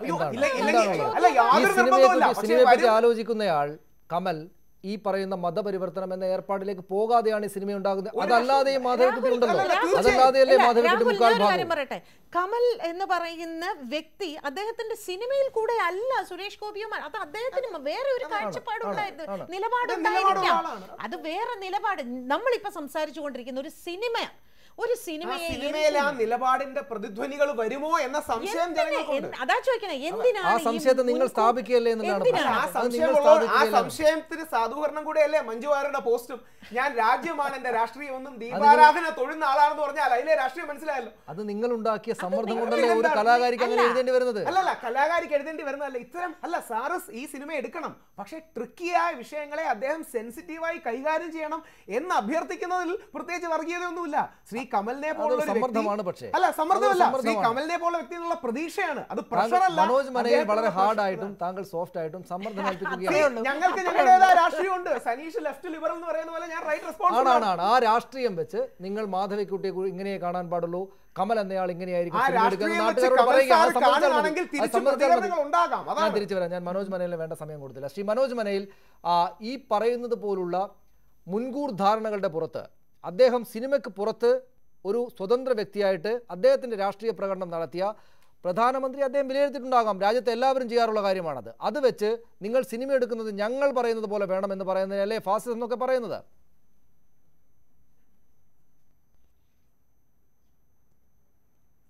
ഇതിലൊരിക്കലും കമൽ ഇന്ന രീതിയിൽ സിനിമ എടുക്കണം തിരക്കഥ ഇന്നതാവണം എന്ന് ആരെങ്കിലും പറഞ്ഞിട്ടോ എന്നെനിക്കറിയില്ല അങ്ങനെ പറഞ്ഞിട്ടുണ്ടെങ്കിൽ കൃത്യമായിട്ട് ഞാൻ പറയാം അത് ബുദ്ധിമോശം എന്ന് ഞാൻ പറയൂ.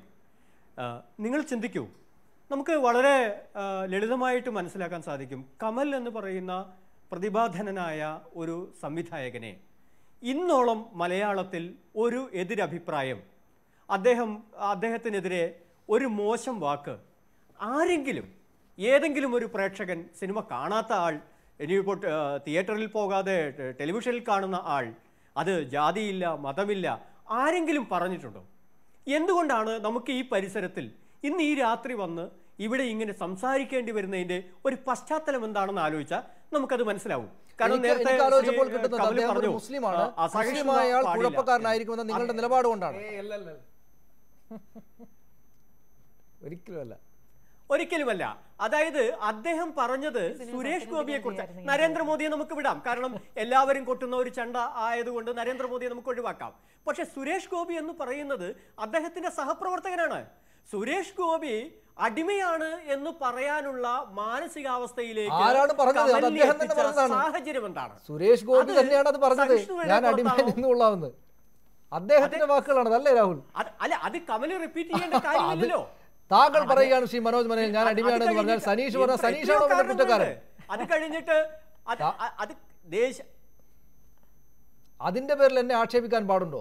മനോജ് മനയിൽ ഇവിടെ വെച്ച് പറയുന്നു ഞാൻ നരേന്ദ്രമോദിയുടെ അടിമയാണ്. അപ്പോൾ ഞാൻ അങ്ങോട്ട് തിരിച്ചു ചോദിക്കുകയാണ് നിങ്ങൾ നരേന്ദ്രമോദിയുടെ അടിമയല്ലേ? എന്ന് ചോദിച്ചാൽ ഞാനാണോ അതിന് കുറ്റക്കാരൻ? അതിന്റെ പേരിലാണോ നിങ്ങൾ കമലിനെ ചീത്ത വിളിക്കുന്നത്? അതിന്റെ പേരിലാണോ വരാനിരിക്കുന്ന സിനിമയെ പോലും ഇങ്ങനെ അടിച്ചോടിക്കുന്നത്?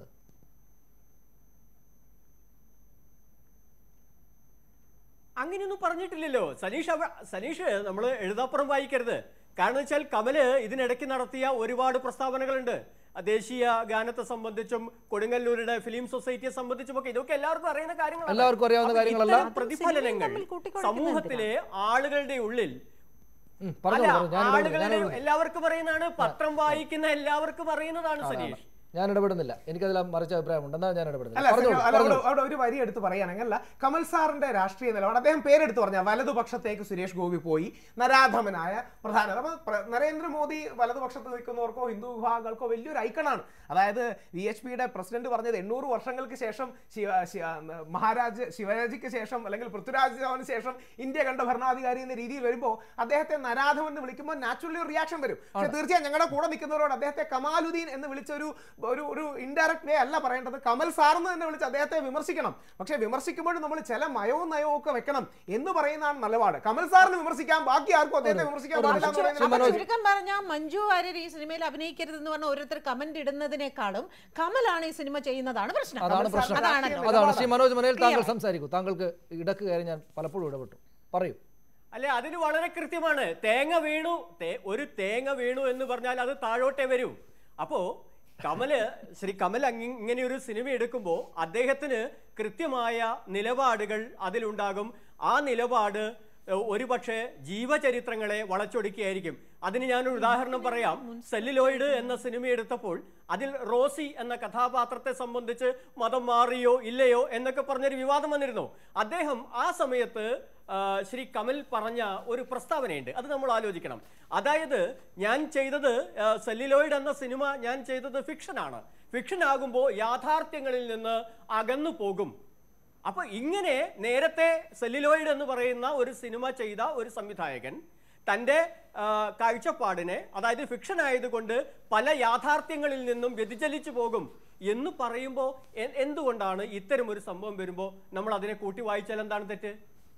അത് എങ്ങനെയാണ് വർഗീയമാകുന്നത്? അതെങ്ങനെയാണ് അപ്പൊ വർഗീയമാകുന്നത് സഹിഷ്ണുത എന്ന് പറയുന്നത് ഒരു ഭാഗത്ത് മാത്രവും മറ്റുള്ളവര് അതെങ്ങനെയാണ് വർഗീയമാകുന്നത് എന്നാണ് ശ്രീ പന്തളം സുധാകരൻ ചോദ്യം. എന്ന് വെച്ചാൽ ഓരോ വ്യക്തിക്കും അയാളുടേതായ രാഷ്ട്രീയമുണ്ട്. ആ രാഷ്ട്രീയത്തിന്റെ കാഴ്ചപ്പാടിനകത്തുകൂടെ തന്നെ കാര്യങ്ങൾ വരുന്നുള്ളൂ. അയാൾ എടുക്കുന്ന എല്ലാ പ്രവൃത്തികളിലും അയാളുടെ രാഷ്ട്രീയത്തിന്റെ ഛായ ഉണ്ടായിരിക്കും. അതുകൊണ്ട് ഞങ്ങൾക്ക് വിരുദ്ധമായ രാഷ്ട്രീയമുള്ള ആളാണ് കമൽ. അദ്ദേഹത്തിന്റെ സിനിമയെ എതിർക്കേണ്ടതാണ്.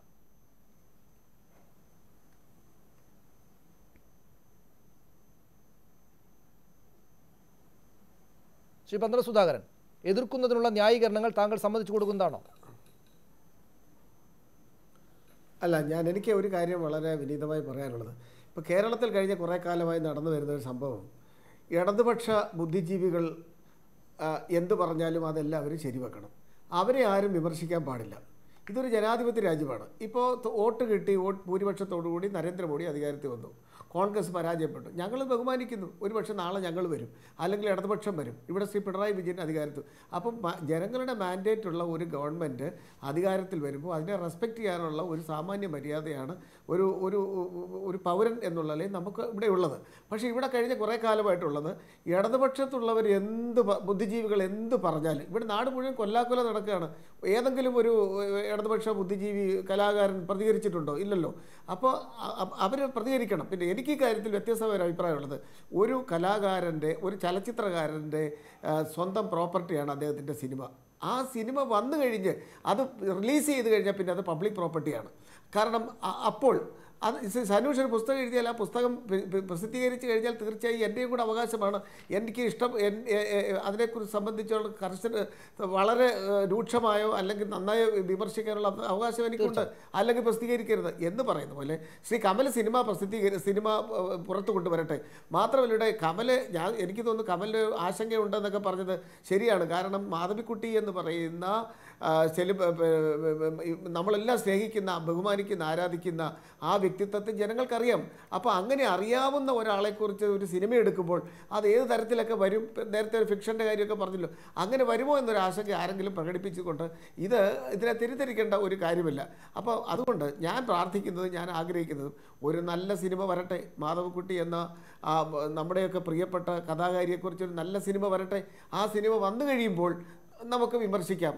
നല്ല വിമർശനങ്ങളാവട്ടെ ആദ്യ ഭാഗത്ത് അതായത് ഇടത് ബുദ്ധിജീവികൾക്ക് മാത്രമായിട്ട് ഇങ്ങനെ വിമർശിക്കാനുള്ള അവകാശമില്ല എന്ന് പറയുന്നത് കമലിനെ ഉദ്ദേശിച്ചിട്ടാണെങ്കിൽ കലാകാരന്മാർക്ക് അങ്ങനെ മാത്രം പറ്റുമോ എന്നൊക്കെ ചോദിക്കുകയാണെങ്കിൽ സോണിയാഗാന്ധി നരേന്ദ്രമോദിയെ വിശേഷിപ്പിച്ചത് മരണത്തിന്റെ വ്യാപാരി എന്നാണ്. നോക്കൂ സോണിയാഗാന്ധിയുടെ രാഷ്ട്രീയ പക്ഷത്തോട് താല്പര്യമുള്ള ഒരു കലാകാരൻ അതേ വാക്കെടുത്തിട്ട് നരേന്ദ്രമോദിക്കെതിരെ ഉപയോഗിക്കുകയാണെങ്കിൽ അദ്ദേഹം ചെയ്ത് ശരിയായ നിലപാടാകില്ല എന്ന നിലപാട് താങ്കൾ സ്വീകരിക്കുമോ? അങ്ങനെയെങ്കിൽ രാഷ്ട്രീയ നേതൃത്വം അത്തരം വാക്കുകൾ ഉപയോഗിക്കരുത് എന്നുകൂടെ താങ്കൾ പറയേണ്ടതല്ലേ? അല്ല ഞാൻ പറഞ്ഞല്ലോ ഒരു ജനാധിപത്യ രാജ്യത്തെ വിമർശിക്കാനുള്ള അവകാശം എല്ലാവർക്കും ഉണ്ട്. ഒരു പവറിനുണ്ട് അത് കലാകാരനോ അല്ലെങ്കിൽ കൽ- സയന്റിസ്റ്റോ അല്ലെങ്കിൽ മറ്റ് വേറെ ഒന്നും അങ്ങനെ വേർതിരിവുകളില്ല. ആരെയും വിമർശിക്കാൻ. ഞാനിവിടെ പറഞ്ഞത് ഇടതുപക്ഷ ബുദ്ധിജീവികളും കലാകാരന്മാരും വിമർശനങ്ങളെ ഭയക്കുന്നു. അവരെ വിമർശിക്കാൻ പാടില്ല എന്നൊരു നിലപാടെടുക്കരുത്. ഇപ്പോൾ കോൺഗ്രസ്സുകാർ കലാകാരന്മാരുണ്ട് അവരെ ശക്തമായിട്ട് വിമർശിക്കട്ടെ. ഇപ്പോൾ സോണിയാഗാന്ധി തീർച്ചയായിട്ടും പ്രതിപക്ഷ രാഷ്ട്രീയ പ്രസ്ഥാനത്തിന് നേതാവ് എന്നുള്ളതിന് ശക്തമായി വിമർശിക്കും. ഇവിടെ ഞങ്ങൾ രമേശ് ചെന്നിത്തല അല്ലെങ്കിൽ പിണറായി വിമർശിക്കില്ലേ? അപ്പോൾ വിമർശനം രാഷ്ട്രീയത്തിലായാലും സാംസ്കാരിക രംഗത്തായാലും അനിവാര്യമാണ്. എന്തെങ്കിൽ മാത്രമേ ഇതൊക്കെ നേർവഴിക്ക് പോകുകയുള്ളൂ. അതാണ് ഞാൻ പറഞ്ഞത്. അല്ലാതെ ഞാൻ കമലെന്ന് കമലൊക്കെ എന്റെ വ്യക്തിപരമായി എനിക്ക് വളരെ ഇഷ്ടവും ബഹുമാനവുമുള്ള വ്യക്തിയാണ്. അല്ല ഞാൻ ഈ വ്യക്തികളെ ഉദ്ദേശിക്കുന്നേ ഇല്ല. വളരെ വളരെ. സൃഷ്ടികളെയാണ് കാരശ്ശേരി ശ്രീ എം എൻ കാരശ്ശേരി താങ്കൾ അവസാനിപ്പിക്കാം ഈ ചർച്ച. എന്തൊക്കെ പറഞ്ഞാലും ഈ ഇങ്ങനെ ഒരു സമ്മർദ്ദം ഈ കലാകാരന്മാർക്ക് മേൽ ഉണ്ടായിട്ടുണ്ട് എന്ന വസ്തുതയാണ്. മാധവിക്കുട്ടിയാണ് വിഷയം. അവരുടെ സങ്കീർണമായിട്ടുള്ള ജീവിതമാണ്. അതിന്മേൽ അല്ലെങ്കിൽ തന്നെ രാഷ്ട്രീയമായി സമ്മർദ്ദത്തിൽ അകപ്പെട്ടിരിക്കുന്ന ഒരു സംവിധായകൻ സിനിമ എടുക്കാൻ പോവുകയാണ്. ആ സമ്മർദ്ദം സ്വാഭാവികമാണ്. അതിപ്പോൾ സംഘപരിവാരോ കക്ഷികളെ പൂർണമായിട്ട് അങ്ങോട്ട് വിമർശിക്കുന്നതിൽ കാര്യമില്ല. അവർക്ക് വിമർശിക്കാനുള്ള കാരണങ്ങളുള്ളത് അവരത് ചെയ്യുന്നു. ഈ സമ്മർദ്ദത്തിനകത്തുകൂടെ വരുന്ന കലയെ ആ ഈ രാഷ്ട്രീയ സംഗതികൾ ബാധിക്കുമോ? ബാധിക്കാമോ? ബാധിച്ച ബാധിച്ചാൽ കുഴപ്പമുണ്ടോ?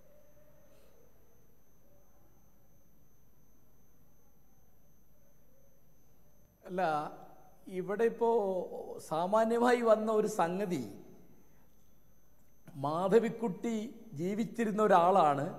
അവരുടെ ജീവചരിത്ര വസ്തുതകൾ വെച്ചുകൊണ്ട് മാത്രം ഒരു സിനിമ സിനിമ ഉണ്ടാക്കുന്നതാണ് നീതി എന്നൊരു ധാരണ വന്നിട്ടുണ്ട്. അങ്ങനെ ഒരു സംഗതി ഇല്ല. കാരണം സ്വന്തം ജീവചരിത്രം ഫിക്ഷനാക്കിയ കഥയാക്കിയ ഒരാളാണ് മാധവിക്കുട്ടി. അപ്പോൾ ഒരു ഇപ്പോൾ ഒരു ഉദാഹരണം പറഞ്ഞാൽ ഇപ്പോൾ കുമാരനാശാന്റെ ജീവ ജീവിത കഥ കെ സുരേന്ദ്രൻ മരണം ദുർബലം എന്ന് ഒരു നോവലാക്കി. നാരായണഗുരുവിനെ പറ്റി പലരും നോവൽ എഴുതിയിട്ടുണ്ട്. അത് ഫിക്ഷണലൈസ് ചെയ്യാണ്. അത് കഥനമാക്കിയിട്ട് അത് ഭാവന സൃഷ്ടിയാക്കി മാറ്റുകയാണ്. അപ്പോൾ ആമി എന്ന സിനിമ എടുക്കുമ്പോൾ കമൽ ഉദ്ദേശിക്കുന്ന തരത്തിലുള്ള ഒരു മാധവിക്കുട്ടിയെ സൃഷ്ടിക്കാൻ അദ്ദേഹത്തിന് സ്വാതന്ത്ര്യമുണ്ട്. ആ സൃഷ്ടിച്ചത് നന്നായോ ഇല്ലേ എന്ന് വിമർശിക്കാൻ നമുക്ക് സ്വാതന്ത്ര്യമുണ്ട്. ഒന്നും വിമർശനാതീതല്ല. പക്ഷേ ഒരു ഇപ്പോൾ ഇപ്പോ ഹിറ്റ്ലറെ പറ്റി എത്രയെങ്കിലും ജീവചരിത്രമുണ്ട് എത്രയെങ്കിലും ജീവചരിത്ര സിനിമയുണ്ട് അത് മുഴുവൻ ഫിക്ഷണലൈസ് ചെയ്തിട്ട് അത് മുഴുവൻ കഥയാക്കി മാറ്റിയിട്ട് ഇപ്പോൾ ലോകപ്രസിദ്ധമായ ചാർലി ചാപ്പിളിന്റെ സിനിമയാണ് ദ ഗ്രേറ്റ് ഡിക്റ്റേറ്റർ. അത് ഹിറ്റ്ലറുടെ പല അംശങ്ങളും അതിനകത്തുണ്ട് ആ തരത്തിൽ എന്താണ് കമൽ എഴുതാൻ പോകുന്നത് എന്താണ് കമൽ സിനിമ പിടിക്കാൻ പോകുന്നത് മഞ്ജു വാര്യർ എന്താണ് അവതരിപ്പിക്കാൻ പോകുന്നത് നമുക്ക് അറിഞ്ഞുകൂടാ. അപ്പം നമ്മളിവിടെ ഇരുന്നിട്ട് ഇത് ഇങ്ങനെ ജീവചരിത്രത്തോട് നീതി പുലർത്തണം. നൂറ് ശതമാനം സത്യസന്ധമാണ്. പലരും ചോദിച്ചാണ് മാധവിക്കുട്ടിയോട് ഞാനും ചോദിച്ചാണ്. നിങ്ങൾ എന്തുകൊണ്ടാണ്. സ്വന്തം ജീവിതകഥ സത്യസന്ധമായി വിത്തിൻ കോഡ്സ് സത്യസന്ധം. അപ്പൊ പറഞ്ഞോളൂ അല്ല ഈ വളച്ചൊടിക്കുക എന്നൊക്കെ പറയുന്ന ഒരാളുടെ ഭാവന ഇപ്പോ അങ്ങനെ ജീവിച്ചിരുന്ന ഒരാളെ പറ്റി നോവൽ എഴുതാൻ പാടില്ല. ജീവിച്ചിരുന്ന ഒരാളെ പറ്റി ഭാവനാ പ്രധാനമായ ഒരു സിനിമയോ നാടകമോ ഉണ്ടാക്കാൻ പാടില്ല. എന്നൊക്കെ പറയുന്നത് നമ്മുടെ സർഗശേഷിക്ക് നമ്മൾ അതിര് വെക്കുന്നതാണ് അതിര് അപ്പോ ഇതിലിപ്പോ ഒരു കാര്യം വ്യക്തമാണ്. മാധവിക്കുട്ടിയിൽ ഏറ്റവും പ്രധാനം മതപരിവർത്തനമാണ് എന്ന് വിചാരിക്കുന്ന ഒരു അംശം സംഘപരിവാറിനുണ്ട്. സംശയമില്ല. അത് അവരുടെ ജീവിതത്തിലെ സത്യമല്ലേ സത്യമാണ്. പക്ഷെ അവരെ സംബന്ധിക്കുന്ന ഏറ്റവും പ്രധാനപ്പെട്ട കാര്യം അവർ കവിയായിരുന്നു കഥാകൃത്തായിരുന്നു നാടകൃത്തായിരുന്നു നോവലിസ്റ്റായിരുന്നു. അവരുപയോഗിച്ചൊരു വാക്ക് ഞാൻ പറയാം പ്രേമിക ആയിരുന്നു. അവരുണ്ടാക്കിയ വാക്ക കാമുകി എന്ന് മലയാളത്തിൽ പറഞ്ഞതിന് പകരം പ്രേമിക എന്നൊരു വാക്ക് പറഞ്ഞിട്ടുണ്ട്. അതൊക്കെ ആയിരുന്നു അവർ അവർ ജനങ്ങളെ ആളുകളെ സ്നേഹിച്ച ഒരാളാണ്. അപ്പോൾ അവരുടെ സ്നേഹത്തിന്റെ കഥ പറയാം പ്രണയത്തിന്റെ കഥ പറയാം എഴുത്തിന്റെ കഥ പറയാം അവരുടെ കുടുംബജീവിതം പറയാം. ആ കൂട്ടത്തിൽ മതപരിവർത്തനം വേണമോ വേണ്ടയോ? അത് ഏത് രീതിയിൽ വേണം? എന്നൊക്കെ തീരുമാനിക്കാനുള്ള സ്വാതന്ത്ര്യം തീർച്ചയായിട്ടും നമ്മൾ വളരെ- ചരിത്രകാരന്മാർക്കും നടികൾക്കും കൊടുക്കേണ്ടതാണ്. ഗാന്ധിയെ പറ്റിയൊക്കെ എത്രയെങ്കിലും കഥകൾ നോവലായിട്ട് സിനിമയായിട്ടൊക്കെ വന്ന് നമുക്കറിയാം. അവരുടെ ജീവിതത്തിലെ ഏറ്റവും പ്രധാനപ്പെട്ട കാര്യമാണ് കാര്യം അവരുടെ എന്ന് വിചാരിക്കുന്ന മനോജിനും വേണമെങ്കിൽ അത് അത്തരത്തിലുള്ള കഴിഞ്ഞിട്ട് സിനിമ അതിനെ എടുക്കാവുന്നതാണ് വിമർശിക്കുക. അല്ലേ? അത് എന്നതാണ് മറച്ചു വെക്കുന്നതാണ് അങ്ങനെ ഏറ്റവും സിനിമ പ്രധാനം എടുക്കാം. എല്ലാവർക്കും ഒരു സിനിമ എടുക്കാവുന്നതാണ്. സി എം എൻ കാരശ്ശേരി അങ്ങനെ വേണമെങ്കിൽ സിനിമ എടുക്കാവുന്നതാണ്. അതായത് മതപരിവർത്തനം മാത്രമാണ്. അതാണ് മാധവിക്കുട്ടി കമല സുരയ്യ എന്ന് വിചാരിക്കുന്ന ആളുകൾക്ക് അവരുടെ സിനിമയും എടുക്കാവുന്നതാണ്. അത്. തീർച്ചയായിട്ടും. അതിനുള്ള എല്ലാ സ്വാതന്ത്ര്യം അവർക്കുണ്ട്. ആ സ്വാതന്ത്ര്യത്തിന്റെ കൂടെയാണ് ഞാൻ നിൽക്കുള്ളൂ. വർഗീയമായി പോകുമെന്ന് രാഹുൽ ഗാന്ധി. ആ വർഗീയതയെ പക്ഷേ കേരളം തള്ളിക്കളയുകയാണ് ചെയ്യുക. വളരെ നന്ദി വളരെ നന്ദി സംസാരിച്ചിട്ട് എവിടെ എത്തൂല. വെച്ച് സംസാരിച്ചിട്ട് എവിടെ എത്തൂല. അതായത് മാധവിക്കുട്ടിയെ ഒരാൾക്ക് എങ്ങനെ ചിത്രീകരിക്കണോ അങ്ങനെ ചിത്രീകരിക്കാനുള്ള സ്വാതന്ത്ര്യം അയാൾക്കുണ്ട്. അത് അവതരിപ്പിക്കാനുള്ള സ്വാതന്ത്ര്യം ഒരു നടിക്ക് വേണം. അത് മറിച്ചാവാനുള്ള സ്വാതന്ത്ര്യമുണ്ട്. ജനാധിപത്യം എന്ന് പറയുന്നത് ഇങ്ങനെ ഈ തരത്തിലുള്ള തർക്കങ്ങളും സംവാദങ്ങളും ആശയ വിനിമയങ്ങളുമാണ്. അല്ലാതെ വെറുപ്പോ മുൻവിധികളോ ഈ തരത്തിലുള്ള തടസ്സപ്പെടുത്തലുകളോ ഒന്നുമല്ല വളരെ വളരെ നന്ദി ശ്രീ എം എൻ കാരശ്ശേരി ഞങ്ങളോട് സംസാരിച്ചതിന് ആ ചർച്ച ചെന്നെത്തേണ്ടുന്നിടത്താണ് താങ്കൾ നിർത്തിയിരിക്കുന്നത്. വളരെ നന്ദി ശ്രീ എം എൻ കാരശ്ശേരി ശ്രീ മനോജ് മനയിൽ ശ്രീമതി ഭാഗ്യലക്ഷ്മി ശ്രീ രാഹുൽ ഈശ്വർ ശ്രീ പന്തളം സുധാകരൻ ടെലഫോണിലെത്തിയ ശ്രീ കമൽ ഈ ചർച്ചയിൽ പങ്കെടുത്ത നന്ദി. സ്വാഭാവികമായിട്ടും ചർച്ചകൾ ഇത് ഈ വിഷയത്തിൽ വരും ദിവസങ്ങളും തുടരും എന്നാണ് കരുതേണ്ടത്. പ്രൈം ഡിബേറ്റ് പൂർണമാവുകയാണ്. ഒരിക്കൽ കൂടി പ്രധാന വാർത്തകളിലേക്ക്. ജിഷ്ണു കേസിൽ പി. കൃഷ്ണദാസിന് ജാമ്യം ലഭിക്കാൻ സർക്കാർ അഭിഭാഷകൻ കൂട്ടുനിന്നെന്ന ആരോപണം. കൃഷ്ണദാസിനും കൂട്ടാളികൾക്കുമെതിരെ ലുക്കൌട്ട് നോട്ടീസ്. കോളേജിലെ സി സി ടി വി ദൃശ്യങ്ങൾ വീണ്ടെടുക്കാൻ പോലീസ് ശ്രമം. ഉത്തർപ്രദേശിൽ പ്രിയങ്ക ഗാന്ധി ഇറങ്ങി. നോട്ട് നിരോധനത്തിൽ നരേന്ദ്രമോദിക്കെതിരെ രൂക്ഷ വിമർശവുമായി റായ്ബറേലിയിൽ പ്രചാരണം. ഷാരൂഖ് ഖാനാണെന്ന് വിശ്വസിക്കുന്ന മോദി യഥാർത്ഥത്തിൽ ഗബ്ബർ സിംഗ് ആണെന്ന് രാഹുൽ ഗാന്ധി. മൂന്നാം ഘട്ട തെരഞ്ഞെടുപ്പിന്റെ പരസ്യ പ്രചാരണത്തിന് കൊട്ടിക്കലാശം. സദാചാര ഗുണ്ടകൾക്കെതിരെ കർശന നടപടിക്ക് മുഖ്യമന്ത്രിയുടെ നിർദ്ദേശം. ജനങ്ങളെ കയ്യേറ്റം ചെയ്യാൻ ആർക്കും അധികാരം നൽകിയിട്ടില്ല. ദൃശ്യങ്ങൾ മൊബൈലിൽ പകർത്തിയവർക്കെതിരെയും നടപടിയെടുക്കാൻ ഡി ജി പിക്ക് നിർദ്ദേശം. അഴീക്കൽ സംഭവത്തിൽ മൂന്ന് പേർ പിടി. വിദ്യാബാലന് പകരം മഞ്ജു വാര്യർ വന്നിട്ടും മാധവിക്കുട്ടിയുടെ ജീവചരിത്ര സിനിമയെ ചൊല്ലിയുള്ള വിവാദങ്ങൾ തീരുന്നില്ല. മഞ്ജുവിന്റെ വിശദീകരണ പോസ്റ്റിനും സംഘപരിവാർ അനുകൂലികളുടെ വിമർശം. നായികാവേഷം രാഷ്ട്രീയ നിലപാടല്ലെന്ന് മഞ്ജു. മാധവിക്കുട്ടിയെക്കുറിച്ച് സിനിമ ചെയ്യുമ്പോൾ ഭയപ്പെടേണ്ടതുണ്ടെന്ന് കമൽ. തമിഴ്നാട്ടിൽ പാർട്ടി പിടിക്കാൻ പനീർസെൽവത്തിന്റെ ശ്രമം ശശികലയെയും ദിനകരനെയും എ ഐ ഡി എം കെയിൽ നിന്ന് പുറത്താക്കി. എടപ്പാടി പളനിസ്വാമി നാളെ വിശ്വാസ വോട്ട് തേടും. വിപ്പ് നൽകി ഡി എം കെയും കോൺഗ്രസും സർക്കാരിനെ എതിർത്ത് വോട്ട് ചെയ്യുമെന്ന് ഡി എം കെ കാരുണ്യ പദ്ധതി നിർത്തില്ലെന്ന് ധനമന്ത്രി തോമസ് ഐസക് ആരോഗ്യ ഇൻഷുറൻസ് പദ്ധതികൾ തുടരും. കഴിഞ്ഞ സർക്കാരിന്റെ കാലത്തെ മുഴുവൻ കുടിശ്ശികയും തീർക്കും. ഹൃദയ ചികിത്സയ്ക്കുള്ള സ്റ്റെന്റിന്റെ വില കുറച്ച നടപടി അട്ടിമറിക്കാൻ നീക്കം സ്റ്റെന്റിന് കൃത്രിമക്ഷാമം ഉണ്ടാക്കാൻ സ്വകാര്യ കമ്പനികളുടെ ശ്രമം. പ്രൈം ഡിബേറ്റ് പൂർണമാകുന്നു. നമസ്കാരം.